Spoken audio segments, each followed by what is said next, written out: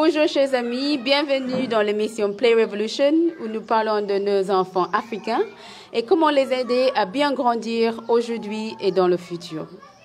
Je m'appelle Shakira McIntosh, je suis avec notre invitée spéciale Mariam Fall. Euh, Mariam. Bonjour Shakira. Bonjour Mariam, bienvenue dans l'émission. Merci.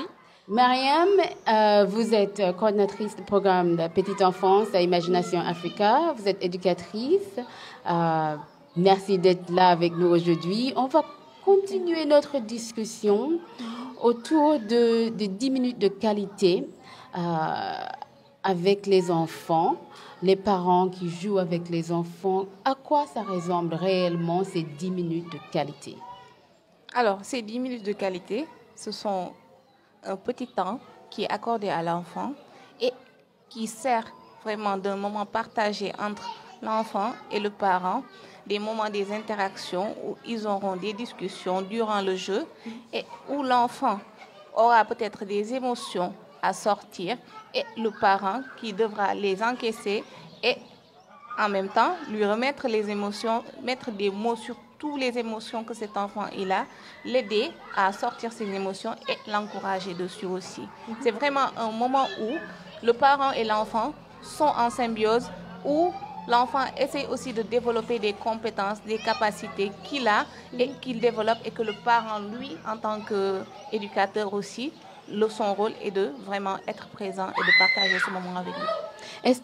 Est-ce que vous pouvez nous donner un exemple de type de jeu euh, que les, les, parents peuvent euh, faciliter avec les enfants pendant ces 10 minutes-là Supposons les jeux imaginatifs, par exemple. Hein. Les jeux imaginatifs, c'est tout simplement, il ne suffit d'aucun matériel. C'est 10 minutes où les parents, le parent est avec son enfant ils ont des échanges autour d'un jeu imaginaire, par exemple, comme un conte ou bien une histoire que lui, il raconte à l'enfant et que l'enfant lui pose des questions en même temps où il y a un échange entre les deux. Le parent, à travers ce conte, met des mots sur ses émotions en lui expliquant par exemple une histoire où il y avait un enfant où son parent vraiment devait travailler, le papa doit travailler, la maman doit travailler, ils ont du mal à passer un moment ensemble, mais lorsqu'ils le passent ensemble, ça devient vraiment un bon moment.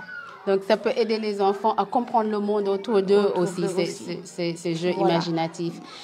Et c'est souvent euh, initié par les parents ou initié par les enfants? Que, Quels sont les conseils euh, autour de ça Il faut aussi être à l'écoute de son enfant pour savoir quel genre de jeu l'intéresse, qu'est-ce qu'il veut vraiment.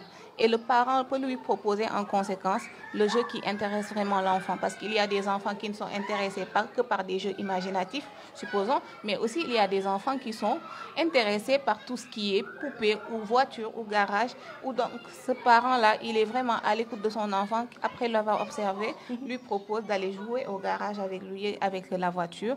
Ou bien si euh, il est intéressé par une poupée, ils vont aller jouer à la poupée, essayer d'habiller cette poupée, de la transformer. C'est vraiment être à l'écoute de son enfant et le suivre dans ce qu'il veut. Mm -hmm. Ça, c'est très intéressant. Ce fait de suivre les enfants, de suivre les enfants, surtout dans les jeux imaginatifs.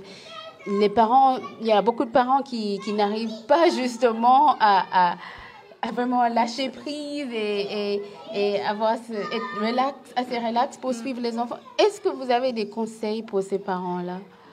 Ce parent doit se dire aussi que cet enfant, autant il a besoin de jouer, mm Mhm. -hmm. mais lui, en tant qu'adulte aussi, il a besoin de jouer. Oui. Ça lui fait du bien. Uh -huh. Donc, c'est un moment qu'il doit partager avec son enfant.